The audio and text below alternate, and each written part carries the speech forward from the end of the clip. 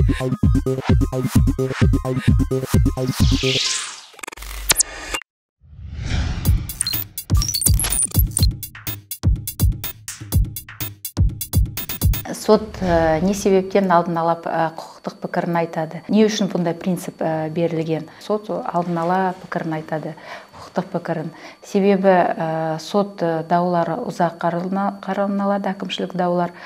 Сол себептен тараптар өз уақыттарын үнемдеу үшін және сот шығындар шықпау үшін сот алдын ала құқықтық пікірін айтып талап арызы қанағаттандыруға жатады ма негізі бар ма жоқ па сол сондай пікірін айтады. Сол, сол сот айтқаннан кейін тараптар келісіп сот пікірімен көбісі жаңағы талап талапкер арызын ал, алып кетеді. Әкімшілік істі қарау кезінде тараптарға ақшалай өндіру шаралары қолдануы мүмкін. Ол барлық іс бойынша қолданылған ақшалай өндіру шаралары лауазымды тұлғаларын өндіріп мемлекеттік бюджетіне кірісіне енгізіледі төленеді. Бұл, бұл шаралар лауазымды тұлғаларға соттың сұрауы бойынша талап етілген жазбаша деректі сұрауы бойынша талап етілген бермеген және тиісті құжатқа сотқа түсірмеген үшін қолданылады. Негізі процестік мәжбүрлеу шаралары үш түрі бар. Бұл процестік мәжбүрлеу шаралары дегеніміз не? Жаңағы сот барысында құқық бұзушылардың алдын алу жолын кесу және кінәлі адамды жауапкершілікке тарту іс шаралары бойынша осындай процессуалдық процессуалдық мәжбүрлеу шаралары қолданылады. Мен айтып кеткенде үш түрі бар. Ол бірінші ескерту сот залынан шығарып тастау и үшінші шара ол ақшалай өндіріп алу шарасы. Ескерту дегеніміз ол сот отырысында неғұрлым тәртіпті бұзған адамға сондай шара қолданылады. Ескертіп егер ескертіледі. Бұл мезгілде қайтадан қайталанса сот отырысында тәртіпті бұзған болса сот отырысынан залынан шығарып тастауға сондай шара қолдануға құқылы. Ең тиімді және маңызды шара ол ақшалай өндіру шарасы болып табылады. Себебі ақшалай өндіру шарасы ол лауазымды және заңды тұлғаға оннан жүз жүзге дейін айлық есептік көрсеткіш қолданылады пайдаланылады. Қандай кездерде қандай бұзушылықтарда ол шара қолданылуы мүмкін? Соттың ақшалай өндіру алу іс жүргізуде құқықтың теріс пайдаланатын немесе іс жүргізу міндеттерін орындамаса адамға орындамаса сол адамға осы шара қолданылады.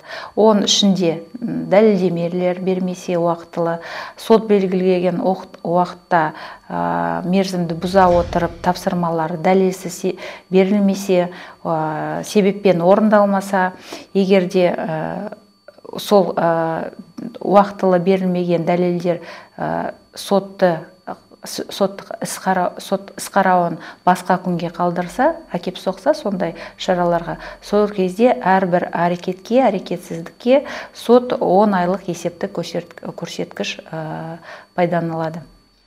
Сонымен қатар тағы да 20 айлық есептікіш көрсеткіш қолданылу құқылы сот егер де сотты құрметтемесе яғни айқын куәландыратын іс әрекеттер жасалса оның ішінде соттың талабын сұрауын орындамаған үшін сонымен қатар сотқа уақытылы хабарламағаны үшін яғни қандай да төрағалық ету үшін өкімдерін бағынбағаны үшін 20 айлық есепкіш көрсеткіш сот пайда құқылы қолдануға құқылы. Сонымен қатар елу айлық көрсеткіш тағы да айлық көрсеткіш пайдалы құқылы ол қандай жағдайларда қолданылады?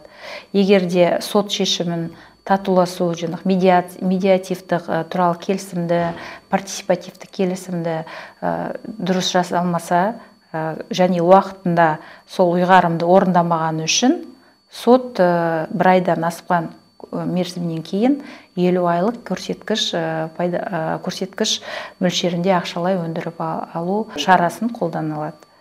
Сонымен қатар сот ақшалай өндіру түріндегі жаңағы мәжбүрлеу шарасы ол қолданылу ұйғарым шығарылады. Сонымен қатар ол ұйғарым бес күн ішінде қолданылған адам төлеу керек республикалық бюджетке. Егер де сол уақыт төленбесе онда қайталап бесспорном порядке қайталап он айлық көрсеткішке көбейіп тағы да ақшалай өндіріп алу шарасы қолданылады. Егер де қолданылған адамға жаңа ақшалай өндірісі мен келіспесе сол, сол адам процесстік процеске қатысушы адамдар шағым келтіру наразы шағым келтіруге құқылы. Солтүстік қазақстан облысының мамандырылған ауданаралық әкімшілік сотының статистикасын айта кетсек осы тоғыз айдың ағымдағы жылдың тоғыз айдың көрсеткіштері яғни біз елу бір ұйғарым шығарылған ақшалай өндіріп алу туралы ұйғарым.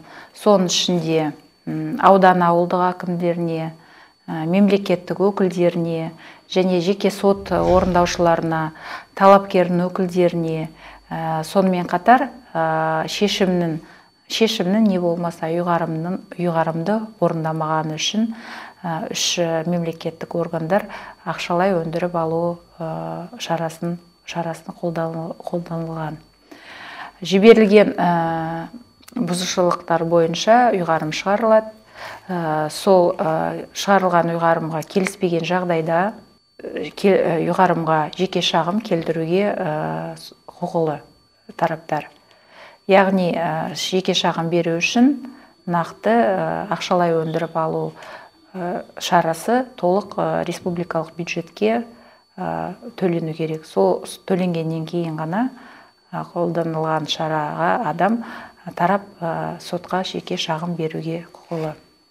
Нәтижесін нәтижесінде сот тәжірибесінде ақшалай жазаларын тиімді шара ол нақты әсер ету механизм екенін көрсетті. Яғни ол процеске қатысушыларды тәртіпке келтіреді. Талаптар мен сот шешімдерін уақытылы орындалуын қамтамасыз етеді.